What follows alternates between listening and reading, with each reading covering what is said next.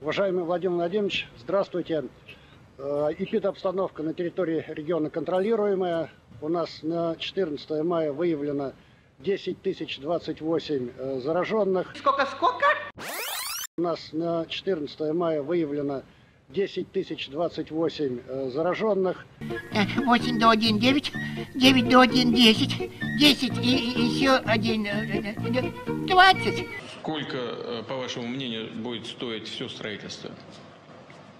Ну, мы пока, мы пока исходим из того, что одно место в таких э, э учреждениях стоит примерно 1 миллион рублей, поэтому 250 мест, ну, примерная стоимость 2,5 миллиарда рублей.